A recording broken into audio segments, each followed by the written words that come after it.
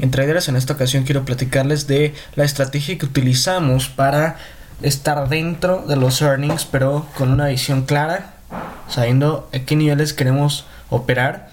Como sabrán, la estrategia de hard overnight en earnings es la más eh, la más complicada porque es como tirar una moneda al aire, ¿sí? Cuando una emisora reporta, puede reportar bien, pero hacer todo lo contrario a los reportes y caer, ¿ok?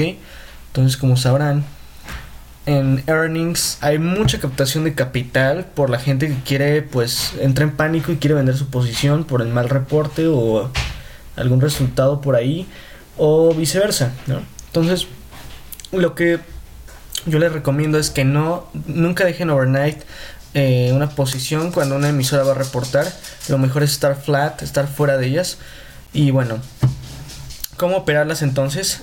A nivel intradía hay una manera muy sencilla. No tan sencilla, pero mucho más predecible, ¿ok? Como se dan cuenta, estamos en el Twitter de Earnings Whispers y Whispers lo puedes encontrar. Eh, normalmente ellos tuitean cada día, hacen dos tweets, el de After the Close que sería en postmercado y en premercado AM Earnings. Entonces mañana, 18 eh, de mayo, van a reportar estas emisoras. Ellos ponen las más importantes reportes, las emisoras más grandes. Y bueno, aquí empieza nuestra labor como especuladores, empezar a planear. Vamos a empezar con la primera que es TGT. Bien, TGT como se podrán dar cuenta tiene un volumen... Eh, tienen un volumen promedio de 5.8 millones. ¿Ok? Hoy tuvo un volumen de 9.2. Estamos hablando de un volumen relativo casi 2, casi de 2. Eh, mercado, bueno, After Hours no se ha movido mucho.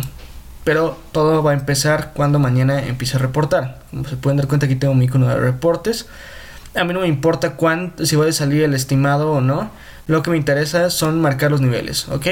Tenemos aquí mis tres marcos temporales de 15, de 5 y de 1 minuto. Lo que vamos a hacer es buscar niveles coincidentes, niveles que coincidan uno con el otro. Al principio toma es un poco lento, pero cuando uno toma práctica en esto se vuelve mucho más rápido. 39 Bien, vamos a ver si encontramos aquí un ejemplo. Hay emisoras que no suelen no tenerlos, por lo que las dejamos pasar. Ok, aquí hay algo interesante. No. Bien, aquí encontré un ejemplo. LOW. Como se pueden dar cuenta, reporta mañana. Aquí está. Lo que vamos a hacer primero, el primer filtro es buscar emisores que tengan volumen promedio mayor a un millón. Esta tuvo es, em, casi 6 millones y hoy tuvo un volumen relativo alto al igual que el anterior. ¿sí? No me importa el estimado que nos diga acá, solo me importa encontrar un nivel coincidente. Bien, si se pueden dar cuenta, tenemos 79.59, perdón, 74.59 en un minuto y 74.58 en 5 minutos.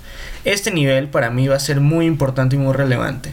Mañana, independientemente de hacia dónde vaya el, la acción, el precio de la acción, a mí no me va a importar yo marco todos los niveles en el gráfico. Si abre con gap down, pues ya tenemos un nivel en donde operar, abrir posiciones. Y si abre con gap up, tenemos nivel lo mismo. ¿Ok?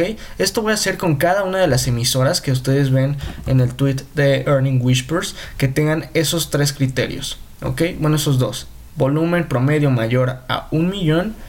Que tengan niveles coincidentes interesantes. Que el precio esté por debajo de los 100 dólares y arriba de los 10 dólares aproximadamente es lo que busco. Tú puedes buscarlo en emisoras de más bajo precio.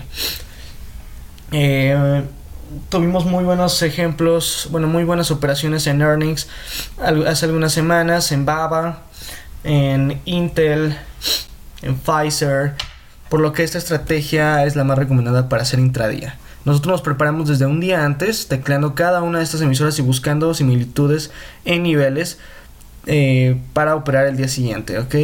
Esto es eh, básicamente lo que hacemos en earnings. Por ejemplo, aquí tenemos otro nivel 7706, 7711. Ese nivel lo marco aquí en mi, eh, en mi monitor.